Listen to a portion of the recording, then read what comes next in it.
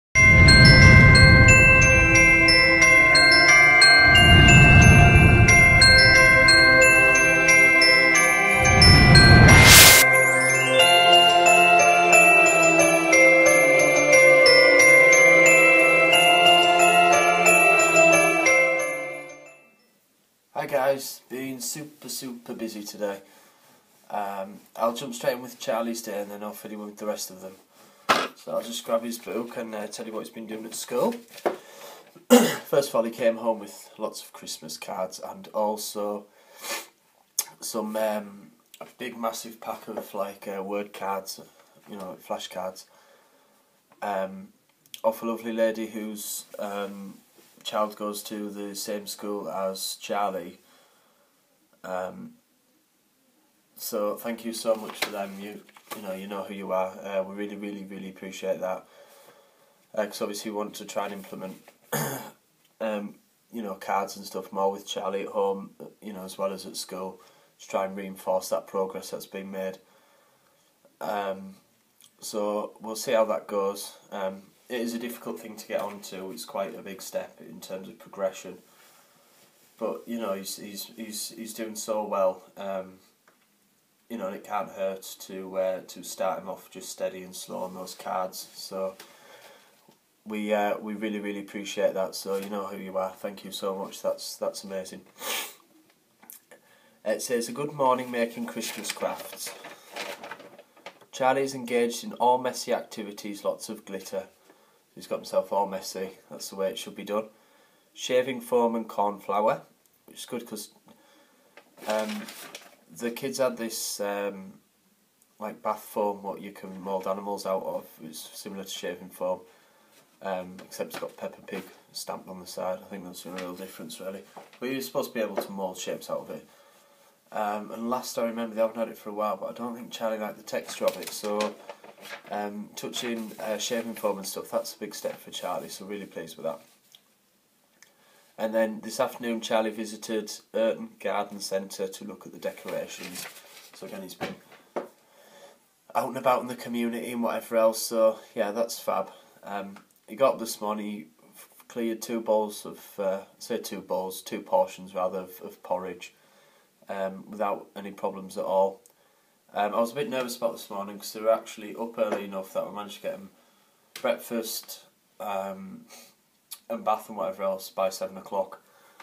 Um, yes, that sounds good and productive, um, but you know, bearing in mind Charlie's very time scaled in his head, as well as you know physically.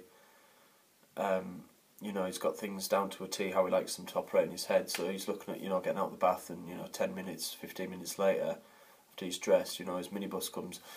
Um, there was obviously an hour or so to wait, um, and also you've then got that added danger of Charlie chewing his clothes and not keeping his socks on or whatever. So it's pretty much you know ten past. You know his bus comes around quarter past eight. It's ten past eight. That's when he whip his socks on his shoes.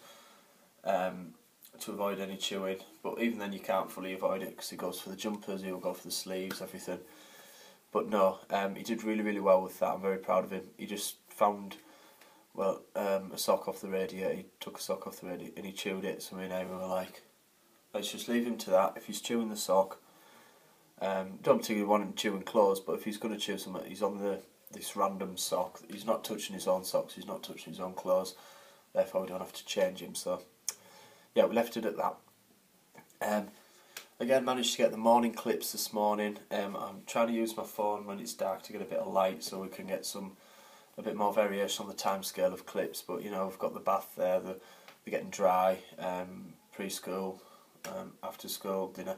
The normal segments, um, obviously this morning they're not as well lit, using my phone to do that.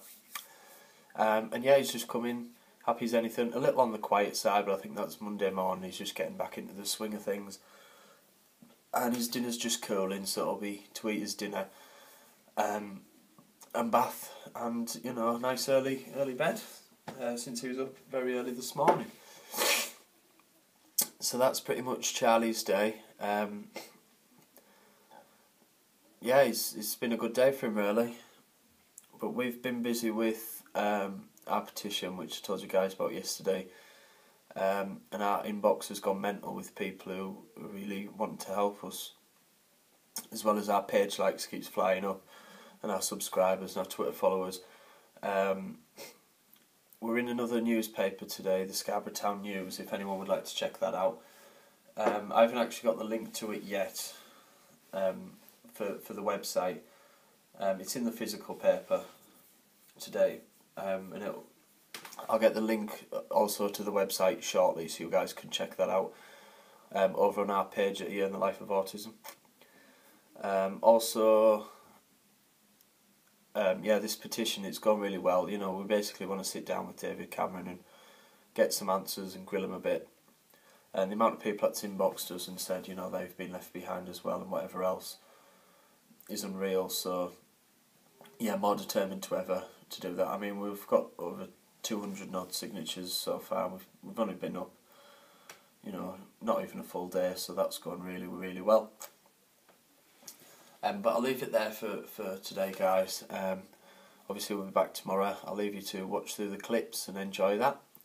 And yeah, as always, thanks for watching, thanks for liking, thanks for subscribing and sharing. You guys are all awesome. Let silent words be heard.